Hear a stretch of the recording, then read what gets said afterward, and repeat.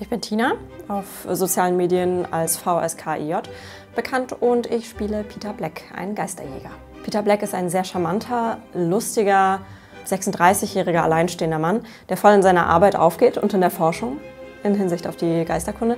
Er ist jetzt auch schon seit 36 Generationen mit seiner Familie im Geisterbusiness mit der Black and Black Ghost äh, Detection and Ejection Service äh, LTD. Peter jagt Geister, weil das einfach seine Familie schon seit Ewigkeiten, schon seit Jahrhunderten macht. Es wurde ihm in die Wiege gelegt, also er kann sich gar nicht vorstellen, irgendwas anderes zu machen.